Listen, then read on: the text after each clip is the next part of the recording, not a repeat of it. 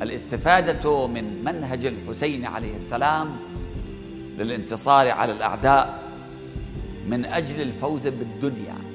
لكن الأفضل هو الاستفادة من منهج الحسين للانتصار على النفس من أجل الفوز في الآخرة. الحسين قائد دنيا في سبيل الآخرة. الدنيا عنده وسيلة. وليست هدفا. لقد علمتنا زينب عليها السلام أنه كما لا صوت لمن لا حياة له كذلك لا حياة لمن لا صوت له.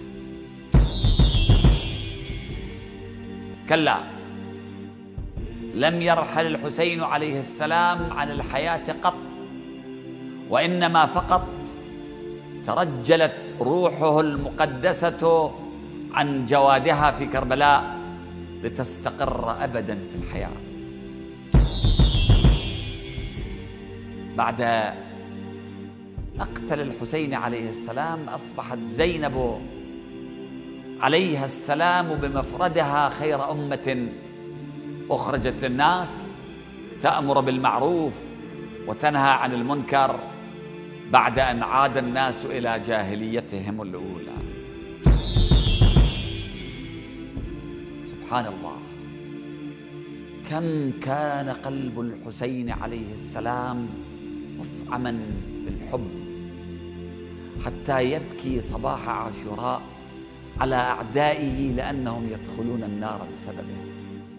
أروني قلبا أكثر حبا من قلب كهذا. وكم كانت روح الحسين شجاعة حتى لا يتردد لحظة في قتال أعدائه عندما أصروا على الكفر والعدوان وهو يلفظ أنفاسه الاخيره أروني شجاعة أكثر من هذه الشجاعة. ضرب العدو ألف حصار على الحسين وأصحابه في كربلاء. ابتداء من حصار الجوع والعطش وانتهاء بحصار السنان والسيوف. لكنه فشل في أن يضرب حصارا على رسالة الحسين ورايته ومشروعه ومنهاجه. لأن الحسين حينما قتل أصبحت قضيته عند الله عز وجل. والله يدافع عن الذين آمنوا في الحياة الدنيا. ويوم يقوم الناس لربهم.